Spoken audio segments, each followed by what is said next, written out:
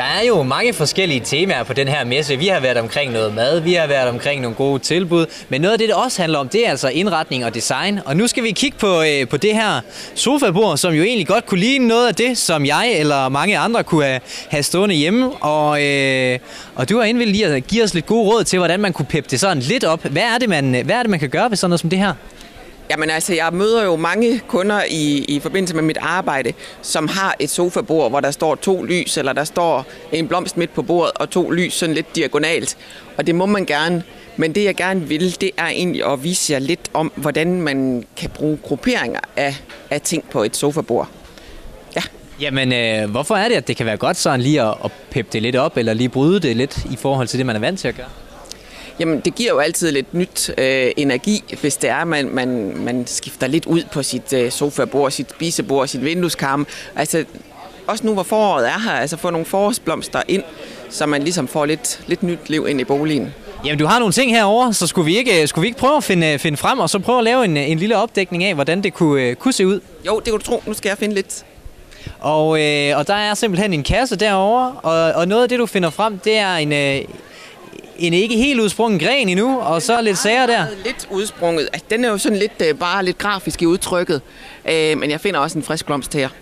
Så, men, men det, der er vigtigt, synes jeg, det er, at, at man tænker lidt i niveauer. Altså man har noget, der er højt, noget, der er lavt, noget midt imellem.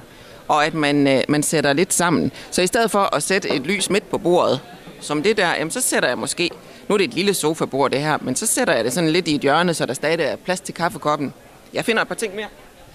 Og, øh, og så imens, så kan jeg jo lige øh, forberede det, det næste spørgsmål, for sådan en, en ikke, særdeles ikke helt udsprungen gren, jamen jeg ved, jeg vil måske have lidt svært ved at, at tage den ind i, i min stue. Øh, hvordan oplever du det? Jamen det kan man sagtens. Altså det, det giver jo sådan et, et meget enkelt udtryk. Og øh, når man har nogle ting med et enkelt udtryk, jamen, så, er det, så, så ligger det mere op til, at man sætter flere ting sammen. Frem for, hvis du har en stor buket blomster, jamen, så skal den mange gange stå lidt alene, frem for at, at, at være omringet af en masse lysestager. Og der kommer lidt andre ting der. Hvad er det for noget? Nu kommer der en, en lille miniplante. Det er jo noget af det, vi virkelig er gode til her i Danmark, det er at lave miniplanter. Så øh, sådan en skal man også tage med. Og den koster jo ikke ret mange kroner. Så øh, på med den. Noget af det, jeg sådan lige har hæftet mig ved, det er, jo, der er godt nok lidt, uh, lidt farve i skålen der, men ellers er det jo sådan rimelig uh, neutrale farver. Jamen, øh, det er det lige på den her. Øh, og, og det synes jeg, det skal man jo gøre, som man, som man synes. Altså, øh, farver, jeg, jeg, jeg synes farver er vigtige, men jeg synes også, at, at det der med, at man tør at, at sætte lidt forskelligt sammen, øh, frem for at sige, nu kører vi limegrønt i hele stuen, eller nu kører vi rødt i hele stuen. Jamen brug lidt forskellige farver. Og noget andet, jeg også hæfter mig ved, det er, at der, der er ingen par af noget. Det er alt sammen sådan ene, ene ting. Ja, og det, det er jo det. Det er ikke det, man kan sige, der er fejl, men det er det, der er typisk, øh, som man gør. Så sætter man to lys, eller to ens blomster, eller, og, og det er lige, lidt det, der ligesom er, er ideen med at lave lidt mere liv, altså lidt forskellige øh, niveauer. Så det behøver ikke være så symmetrisk, og det behøver ikke være så lige og så pænt, som vi måske har været, har været vant til at gøre det? Nej, jeg synes netop, det er i, i det asymmetriske og, og i de forskellige niveauer, du får øh, det liv, der, der nogle gange mangler på sofabordet. Og så synes jeg jo, er vi, er vi i mål med resultatet herovre? Ja, man kan jo flytte lidt rundt på det, den er måske lidt stor, den her, men, men altså, det kan også stå alene, men jeg synes, en frisk blomst, nu det er forår, kan man jo godt sætte ind. Så øh, ja, det er en lille gruppering. Og så her til sidst, så vil jeg gerne lige spørge, hjemme hos dig privat, hvor meget flytter du der rundt sådan til daglig? Ved, jeg flytter rundt hos mine kunder i tid og utid, så derhjemme, der, der sker ikke så meget. Det er kun, når der er årstiderne skiften, så kommer der friske blomster ind. Nu bevæger vi os over til vindueskarmen, og vi har en, en lille, en lille snyde vindueskarm her, som du, øh, som du, Anissa, som du har indvildet i og giver os, øh, igen giver os lidt, lidt inspiration til, hvordan vi kan pynte vores, vores vindueskarm. Og hvad er det, man skal, skal være lidt opmærksom på, når man pynter sin vindueskarm? Jamen, altså, jeg, jeg synes, det er vigtigt, at ens vindueskarm igen ikke bare består af to ens blomster og to lys, øh, men at man også i sin vindueskarm tør at lave lidt grupperinger. Og med det der mener jeg sådan lidt forskelligt, man sætter sammen. Så kan det godt være, at der skal være lidt luft, inden den næste gruppering kommer. Øh, og også det her med, at, at der igen er niveauforskel at det kommer selvfølgelig an på, om man har et vindue, der er 30 cm bredt, eller man har et, der er 90 eller 150. Men, men igen, altså grupperinger, det er nok kodeordet også her.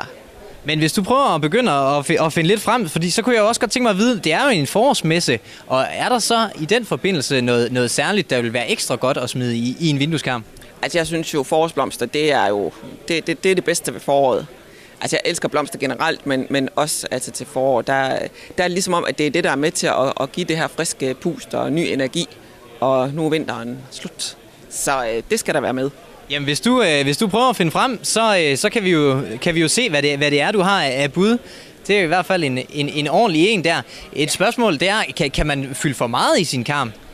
Altså, der er, jo, der er jo nogen, der siger, at hvis jeg fylder for meget i, så skal jeg gå og flytte det, når jeg skal støve af. Og det kan der jo være noget om, men øh, jeg synes, det må være kompromiset. Altså, selvfølgelig kan, kan man komme for meget i vinduet, fordi du skal jo også bruge det lys, der kommer ind af dine vinduer. Og hvis der er noget, vi higer efter nu, så er det jo lys. Øh, og der har jo lige været solformørkelse nu her, men øh, vi skal have noget lys ind, og, og derfor så skal man ikke have noget, der er alt for højt. Øh, og det jeg tænker, øh, mange eller mange, jeg, jeg kan i hvert fald godt selv øh, foreslå til mine kunder, at man tager sine gardiner, de gardiner, der hænger i siderne. Hvis man nu har to hold gardiner, et inde i vinduet og et ved siden af, øh, så tag dem ned ved siden af og få noget lys ind. Øh, og lige sådan i vinduerne, altså noget lyst i vinduet, det kommer også igen an på, at dit bundstykke, er det, er det træ, eller er det hvidt, eller er det granit? Altså, det kommer lidt an på, øh, hvad man har. Ja, det er klart, der er mange ting, der spiller ind. Nu synes jeg, vi skal se om øh, at få lidt flere ting på vores øh, øh, bordvindueskarm, ja, som, vi har, som vi har indrettet i dagens, øh, i dagens anledning. Ja. Og så, øh, og så noget, noget andet, som jeg også tænkte på, det er, altså nu, nu har vi jo en ret stor ting her. Hvor meget skal man så tænke over, om man kan sætte en, en lille ting ved siden af, eller kan man sige noget om det størrelsesforhold, der så gerne skal være der? Altså, jeg, jeg arbejder sådan lidt med det her med, at man har måske øh, det højeste her til, til venstre, og så arbejder, arbejder man så lidt ned, og så det forreste her, det, det er så lavere igen. Så, øh, men altså, jeg synes heller ikke, der skal heller ikke gå for mange regler i den. Altså, man skal også bare prøve sig frem, og det skal være sjovt, og man må være lidt kreativ, og så øh, det, der virker for den ene, virker måske ikke for den anden. Så, så jeg synes, det er med at, at prøve at sætte nogle ting sammen. Så mens du lige finder en ting mere, så hæfter jeg mig ved, at der er kommet en enkelt lysestage på, og, og ikke et, et par lysestager. Og jeg går ud fra, at det er det samme, som der var gældende, ved, ved, da vi dekorerede sofabordet tidligere. Ja, ja, den, den står bare lidt alene her, mens jeg finder det næste frem. Nu har jeg fundet en lille fugl her. Den synes jeg. Altså det, der er godt ved, ved den for eksempel, det er det her med, at der er træ. Og træ er noget, som mange glemmer, fordi så tænker de måske sort, hvid og farve, og så bliver det måske alligevel lidt, øh, lidt koldt. Men, men træet, det kan virkelig bidrage med, med noget varme. Øh.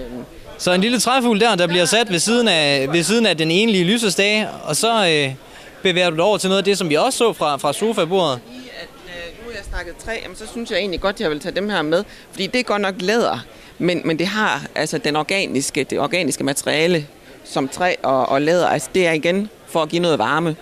Så dem sætter vi her. Nu står der tre her fire. Nej, det er måske lige overkanten. Jeg tror, jeg finder en lille blomst, der sætter. Hvor meget, øh, hvor meget, når du nu laver sådan noget indretning her, hvor meget er det altså sådan noget fingerspidsgefyl? Kan man sige noget om det? Altså, jeg kan godt lide at, at have lidt uh, hands-on, øh, fordi når jeg laver indretningsforslag til mine kunder, jamen, så er det jo mange gange meget detaljeret ned i sofapude, farver og så videre. Men rigtig mange af mine kunder beder mig om at komme ud på sådan et, et opfølgende besøg. Sådan lige, kan du ikke lige dimse det lidt på plads? Jo, jeg kommer og dimser, siger jeg så. Så, øh, så det er lidt fingerspidsgefyl, øh, noget af det.